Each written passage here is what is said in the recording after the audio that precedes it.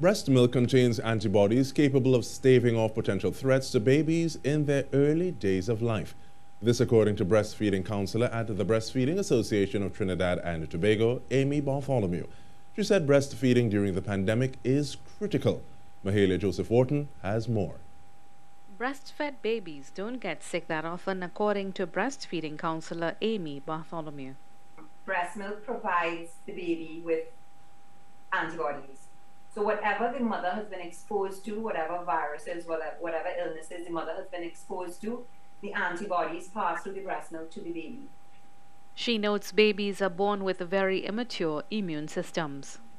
The mother's breast milk helps to develop their immune systems by passing on those immunities to the baby, which works with COVID as well. If a mother has had COVID, if the, if the mother has had the COVID um, vaccine, the mother will pass on immunity to the baby and it will help to protect the baby.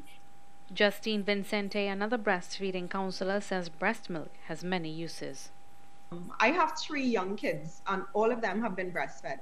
And during the times when I was breastfeeding, and I myself would start to feel a little bit run down, I would drink some of my own expressed breast milk because it does help. It does help, and I've also given it to my to the older ones when the younger ones were breastfeeding.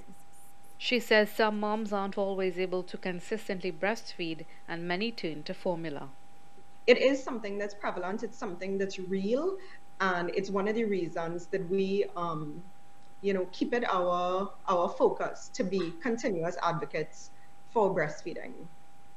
And more so now, I mean, in the middle of COVID, the the benefits have been healed. We we're seeing it. We understand the benefits of moms continuing to breastfeed during during this time.